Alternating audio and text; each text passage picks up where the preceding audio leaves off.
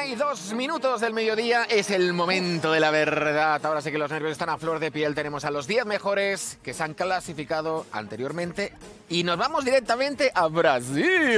Sí, sí, sí, de Interlagos, Autódromo José Carlos Pache, donde Muchos ya seguro que conocen el circuito, un circuito histórico de la Fórmula 1, donde el equilibrio de rendimiento de Gran Turismo Sport se ve reflejado a las mil maravillas. Y vamos a comentar rápidamente, Jordi, cómo van a correr esta carrera de campeones de los 10 mejores pilotos de el- la clasificación que hemos visto durante toda la mañana. Las Los 10 condiciones, vamos a por ello. Los 10 mejores pilotos van a hacer una carrera por tiempo a 15 minutos. Muy atentos porque hay consumo de combustible, consumo de neumáticos y todos van a tener que hacer parada en boxes para repostar. ¿Cuánto? Pues ya eso depende de lo bien que trate cada uno eh, su vehículo. La parrilla de salida está formada ya mismo y van a tener el mismo orden en el que han quedado clasificados en el top 10 de la clasificación. Así Ahí para están. esta final, este top split del casting final de Top Gamers Academy en Gran Turismo Sport. Así que ahí vemos, todos preparados en la pista. ¡En Interlagos! a ver los vehículos que están utilizando. Manu Rodri con la pole saliendo con el Mercedes AMG GT3. Hay unos cuantos que han utilizado ese coche, así que todos prevenidos. Cuidado con la salida, semáforos en rojo ahora mismo. Mucho cuidado, Jordi, en la salida porque puede haber salida nula, así que tienen que No, tener no. muy controlado el freno y salir Eh. justo. Cuidado con, con ahí. Ahora se pone el semáforo en verde comienza la salida. Muy bien Perpi cogiendo el interior en los primeros momentos. Manu Rodri, que es muy listo, se intenta cerrar para coger limpio esta primera parte en el sector. Esta chicana izquierda-derecha que da parte a la primera recta del circuito. De momento Perpi cogiendo el rebufo a Manu Rodri en la primera recta, muy pegado a la parte trasera del Mercedes. Se intenta poner en paralelo. De momento Manu le respeta. Vemos si consigue llegar a la primera frenada fuerte del circuito. Perpi le ha cogido la posición. Ay. Buen interior del piloto de Forcilla que consigue mantenerse por dentro, pero Manuel intenta hacer el lacito por dentro, se pega mucho a los pianos Están ahí, eh, ahí. verdes, amarillos y blancos de Interlagos, pero de momento muy bonito ese duelo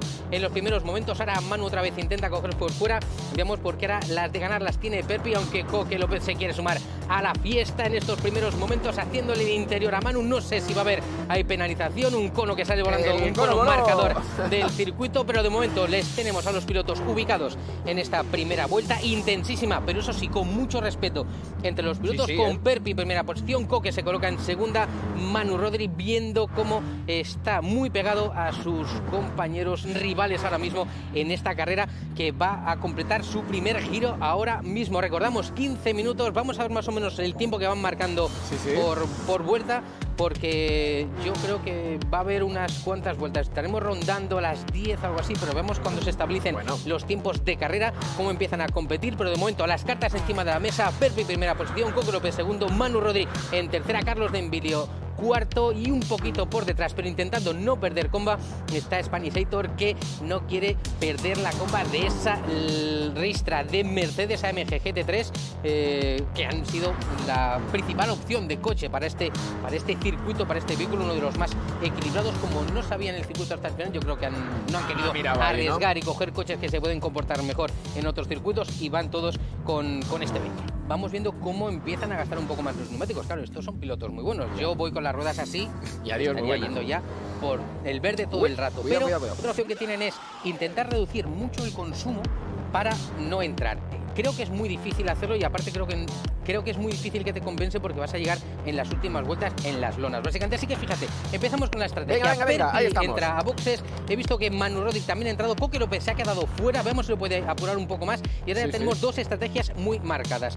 Carlos de Envilio, Manu Rodri y Perpi han entrado a boxes. Perpi con menos combustible que el resto de sus compañeros. 15. Coque López ha seguido en pista todavía. Creo que puede apurar una vuelta o vuelta y media más para estar fuera de pista. Coque, que siempre es muy experto en la estrategia, pero veamos a ver cómo salen eh, tanto de Envilio, Manu Rodri como Perpi a pista, si salen o no salen con, con tráfico y cómo pueden aprovechar estos momentos, porque también han cambiado neumáticos, como estoy viendo, y seguro que pueden intentar ir más rápido que lo que podría hacer Coque, que tiene unos neumáticos más gastados. También Dembilio tiene un segundo de penalización, creo que ha sido por eh, colarse demasiado tarde en la calle de boxes y eso el juego te lo, te lo penaliza. Ese ritmo lento que vemos ahí se lo va a tener que ir quitando poco a poco, eh, frenando en ciertos puntos del circuito para hacer ese ritmo lento que tiene, que tiene que hacer. Si no se lo consigue quitar antes del final de la carrera, el, tiempo se añadirá automáticamente al final de la misma. Pero bueno, de momento vemos cómo... todos han entrado menos Coque, si no me equivoco. Coque ahora está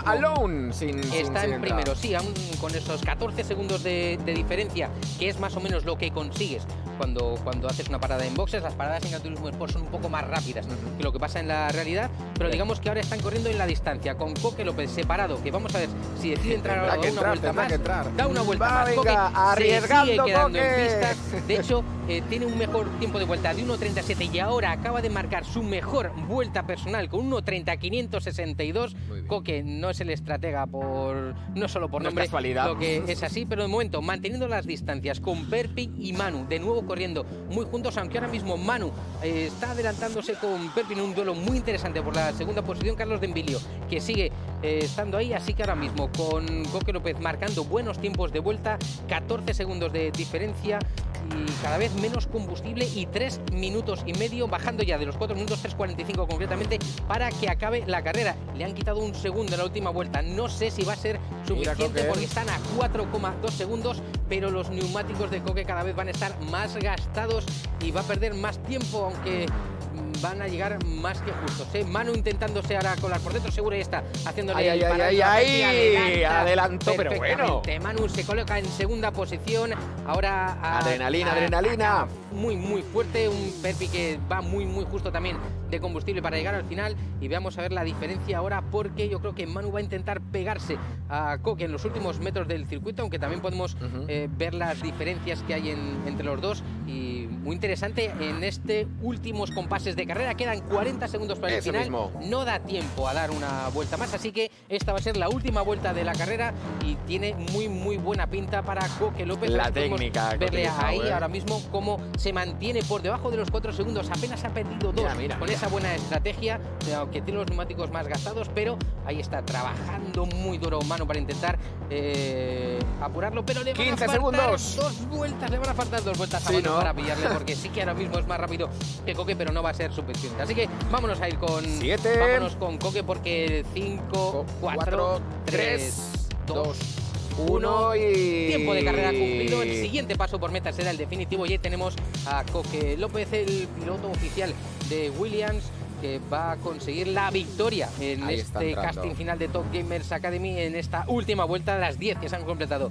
al circuito de Interlagos, Interlagos y en el que va a celebrar la victoria sin duda. seguro, seguro piloto por todo lo alto, cruzando ahora por línea de meta, pasándose en esos tres segundos, que al final han sido tres segundos. Muy eh, bien. Manu Dodi, que ha quedado tercero, Carlos Embilio, ojo, ha quedado en tercera posición y Perpi me parece que se ha quedado sin gasolina. ¡Ay, ay, que entra Qué lástima, Fernando Perpiñán, que llega en la cuarta posición. Ya te decía yo que al principio ha ido liderando mucho rato la carrera y no ha eh, cargado el suficiente combustible y se ha quedado a las puertas de ese podium que finalmente ha sido para Coque, primera posición, Manu Rodríguez ha quedado segundo, Carlos Embilio tercero, Fernando Perpiñán en cuarta posición. Vemos cómo ahora llega el resto de los pilotos. ECA que consigue llegar en quinta posición muy muy pegado con Cons 12 que se van a pelear hasta el final, veamos porque hay rebufo y lucha hasta el final en las carreras, pero sí, Eka consigue la quinta posición, sexto para Honsi, está llegando ya Spanisator en la séptima posición y octava para Skipler, mientras que los dos últimos van a ser eh, nuestro compañero Furix, que va a acabar en novena posición, y Tolosa TTV, que acaba en décima posición, que es el último del top split, pero, el último de los mejores por delante de los otros 37 que se han quedado fuera.